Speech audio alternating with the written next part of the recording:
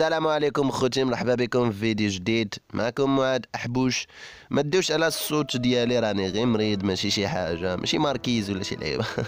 المهم ديو على المضمون فقط. المهم هذا الفيديو هذا ندويو فيه على كيفاش تنظم الوقت ديالك خصوصا نتوما اللي عندكم الجهوي فأنا بحالكم كان عندي العام اللي فات الجهوي وكنت مخربق حتى شهر عاد أنا قديت النظام ديال الوقت وعاد بديت كنوجد الجهوي فأنتم باقي قدامكم الوقت باقي قدامكم أكثر من شهرين.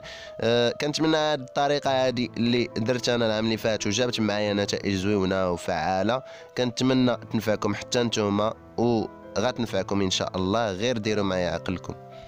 قبل ما نقول لك شنو كنت درت أنا باش نظمت الوقت ديالي العام اللي فات طريقة بسيطة بطبيعة الحال ولكن أنا بحالك كنت العام اللي فات عاطيها غير الواتساب إنستغرام يوتيوب أفلام فيديوهات. أنا بطبيعة الحال كنت في العصر الحجري دابا أنت تكون كتلعب فري فاير بابجي وشي حوايج نيت كانوا كيعكزوني باش أنا ما نخدمش. بحال أنني في الليل ملي كنكون باغي نعس ولا شي حاجة كتشد يوتيوب. كنبقى آه، عاطي l'attaque الفيديوهات الأفلام داكشي اللي ما عنده حتى شي علاقة بالقراية. وصافي حتى النعاس ما تيكفانيش الوقت فين نقرا ولا ندير شي حاجة. ولكن من بين هاد les applications كاملين كاينة application وحدة ولا هي النيت اللي كتكون في التليفون نيت هي اللي كنت يعني بحال الله أول مرة نكتشفها اللي هي الريفاي الريفاي بطبيعة الحال كان عندي بحال قلم بيض ما عطيش اهتمام ما عمرني كاع سولت فيه. من بين الحوايج اللي عاونوني واللي كنعترف بهم عاونوني هو أنا ما كنتش عارف شنو خصني نراجع. فملي ما كنتش عارف شنو خصني نراجع كنبدا باللي كان. كنبدا مثلا بالاجتماعيات مرة كنبدا بالتربية الإسلامية مرة كنبدا بهادي مرة كنبدا بهادي.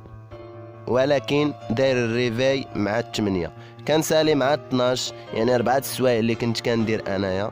المراجعة كلها.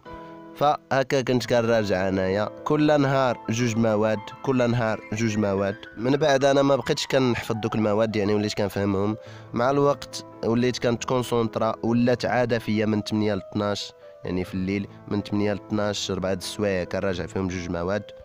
واحد الحاجة عاوناتني باش نحفظ سورة يوسف. هو كنت كنسمع لسورة يوسف بالتجويد ديال ياسر الدوسري. راه كاينة في اليوتيوب غير rechercher عليها.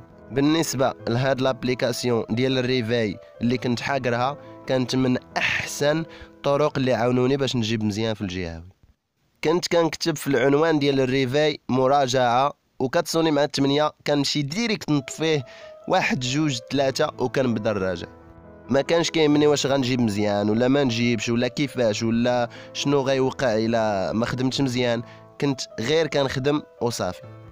حاجة أخرى كنت كنديرها قبل ما نبدأ المراجعة ديالي هي كنحط ليا شي عملية نقد نحسبها وكنحسبها.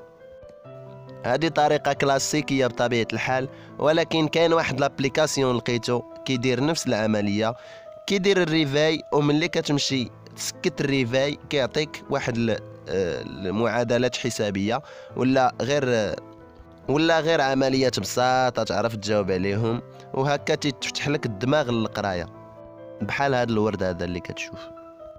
ال application غنخليها لتحت اللي بغا يدخل télécharger ها. باش يخدم بها. غتعاونكم بزاف. أه، أنا الصراحه ما اكتشفتها حتى لهذا العام هذا. أنا واخا قلت ربعة ديال السوايع باش بديت الاعتكاف ولكن أنت ممكن تبدأ بجوج سوايع ولا بساعة. ما كاينش إشكال. عندك حاجة أخرى اللي هي ما تنساش تلعب ما تنساش يعني تحاول أه، النفس ديالك تخليها تلعب. القراية ما كتأثرش على الرياضة اللي كتبغي ولا على الهواية اللي كتبغي. ممكن تلعب كرة basket بحالي شي حاجة كما كانت.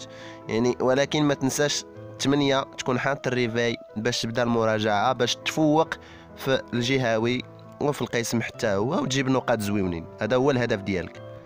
وتفكر ديما قبل ما تبدا المراجعة ت relaxa الوضع relax خلاص بلا صياح ترولاكسا مزيان طلق شي موسيقى كما كانت هادئة كتعجبك فيها الغوات فيها أي حاجة كتعجبك أي نوع كيعجبك. ومن بعد بدا المراجعة. ملي تركز على الحفاظة نسى الكون كامل بما فيهم صحابك العالم كل شيء وفي آخر المطاف أجيب نقطة زوينة. شكرا على الاستماع ديالك ما تنساش تدعي لي بالشفاء. إلى اللقاء.